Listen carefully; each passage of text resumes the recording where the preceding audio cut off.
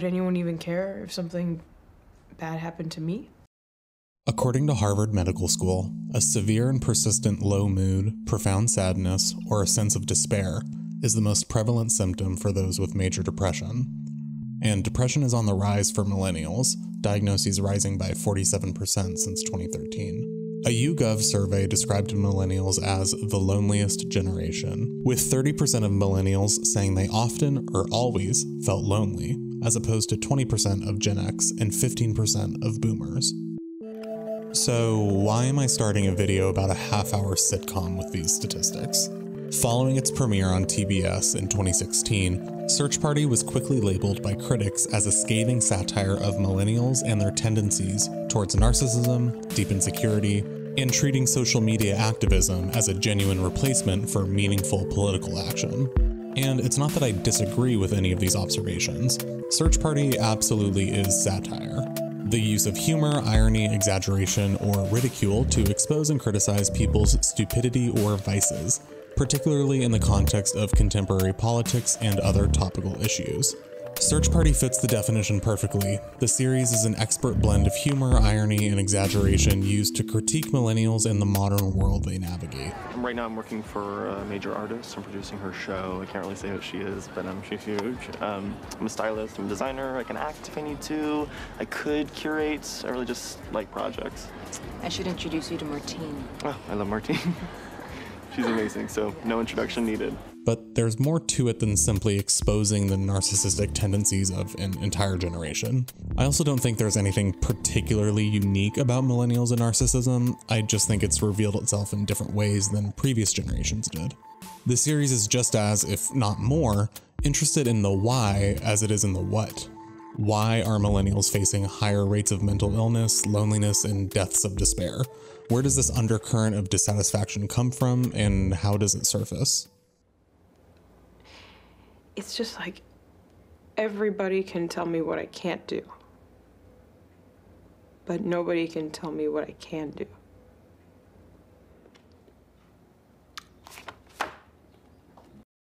Let's back up.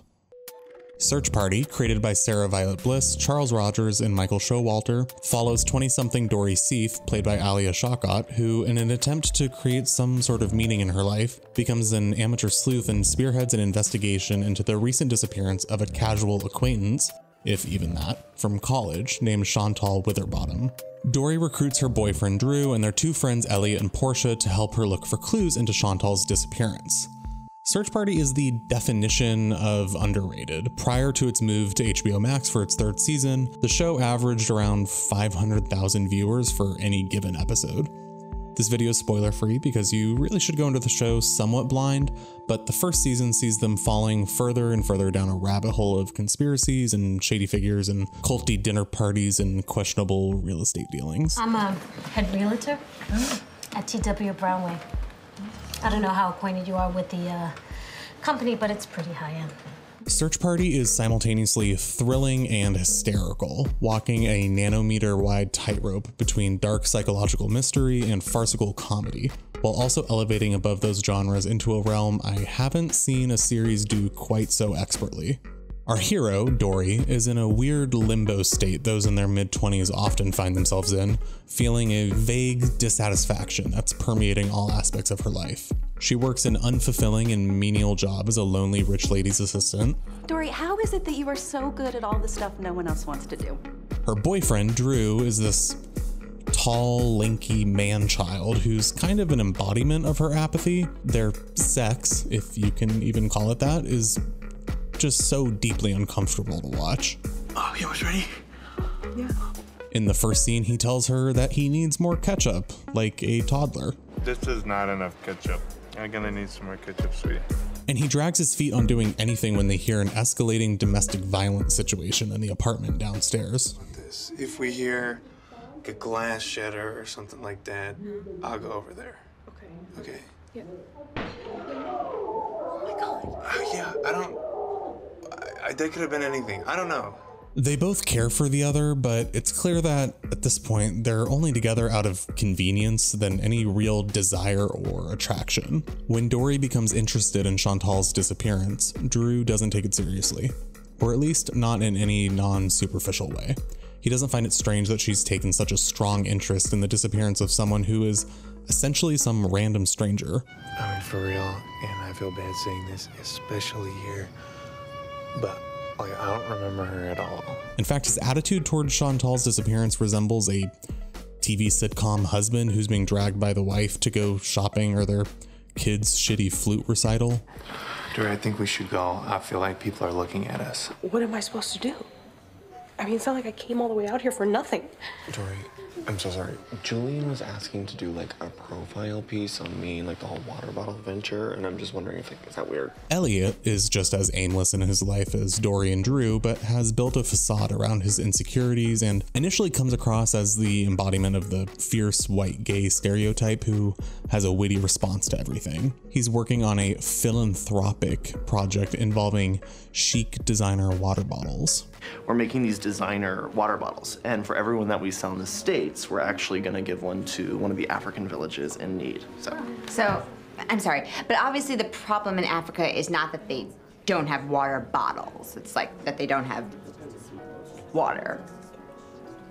believe me, I know. And we will also always set aside a percentage of our proceeds, and some of that we're gonna share with the villages, Leslie. So, So, like a percentage of the percentage? And somewhat constantly talks about his battle with cancer back when he was a teenager.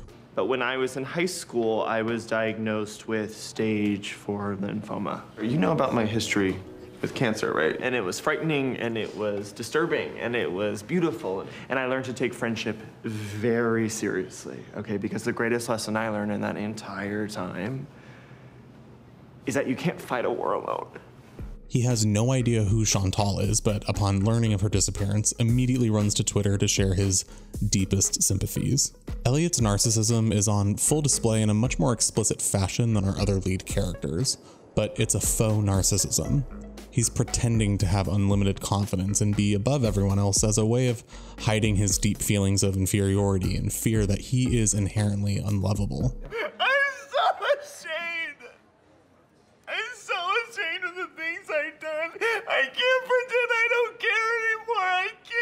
Even as he continuously fails upwards throughout the season, his need to be needed grows and grows to be eventually untenable.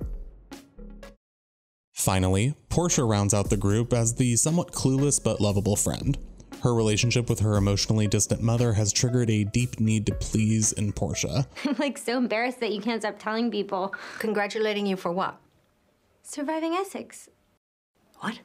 It's the show that I got the audition and I got. Funny enough, she's actually the only one in the group who's making legitimate moves in her career as an actress.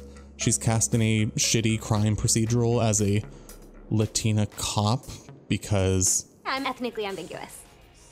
While Portia fulfills the dumb blonde role, it never feels like the show is punching down or making her unsympathetic. She has a surprising depth and magnanimity due in large part to Meredith Hagner's performance infusing Portia with an inherent likability the character would otherwise lack. All right. Uh, I get advised by a lot of people, not my close friends, that I should sort of be um, less girly and kind of more professional. And I just, I don't know if it's wrong to think this. I just think that you don't have to be one kind of woman. And I think that, like, I should be able to get my nails painted and also be smart. And a lot of people don't really think I'm that smart. And I think that's frustrating because I think I'm my own kind of smart. Um, and I know you're probably all thinking, like, this girl's really conceited. But we're sharing, so I thought I would just share. It makes sense given Dory's current status aimlessly floating in a void of dissatisfaction, that when she sees that a girl she sort of knew in college has gone missing, she latches onto it, feeling that this could be the purpose she's been craving, but it isn't. Her projection of herself onto Chantal, looking for Chantal with the same tenacity she hopes others would have for her if she went missing, is simply that projection. After living through two major recessions, seemingly endless military conflicts, a global pandemic, and skyrocketing student debt, to name a few, people Dory's age have an ingrained feeling of volatility. That what you have today, either materially or otherwise, may vanish tomorrow. It's difficult to have confidence in a future that may not exist, and building your identity knowing who you are is nearly impossible when the world around you is shifting at an exponential rate. The characters of Search Party are, whether they know it or not, attempting to assert their worth and value in an uncaring and apathetic environment. It makes sense that these four would be identified correctly as egocentric assholes by TV critics. The greater one feels left behind, the greater their attempt will be to stand in the center of a room and yell, I matter. And the only thing I could think to do is Poke is Poke one just one second. I'm just gonna wrap that up. I'll finish it. Wrap it I'll up. tell you later. Search Party is a fascinating and hilarious exploration of individualism and the existential dread one feels when you realize that you're ultimately just not that big of a deal. That any attempt to satiate your need to be needed is futile. And even when you do gain any notoriety or fame, it does nothing to actually give you any sense of purpose. And if you weave a fantasy narrative where you are the hero and the only one who can save the day, don't be surprised when it all unravels, leaving you to face reality.